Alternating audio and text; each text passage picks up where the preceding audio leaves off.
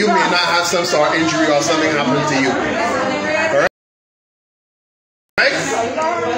We here dealing with a Hi, good morning to those of you who were watching the feed. A young man just came into this church and demanded that we not call upon the name of Jesus Christ. He came upon this platform. Jesus will have him. He spat Can't be a deal we got. in my face.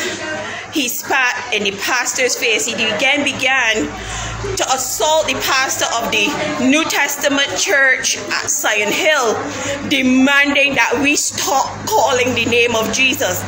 This is how he, he left the pastor of this church bloodied bloodied. We have put this matter before the Lord, but we have also called the Barbados Royal Police Force. He cuffed me all in my face. This country is to be a safe country where we can worship God in peace.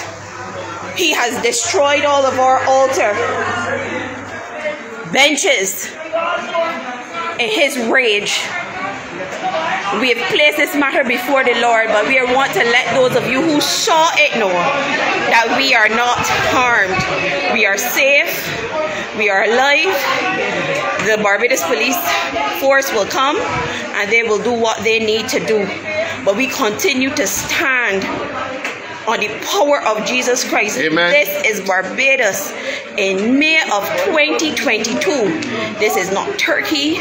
This is not a Middle Eastern country. This is in Barbados, and this has happened on a Sunday morning in this country. So we're going to end our feed for our worship this morning and deal with the matters here.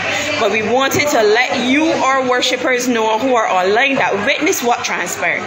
That we are we are alive and we are well. And we, We are give God victorious. thanks Come on, we for are that. victorious. In Jesus' name, we are Hallelujah.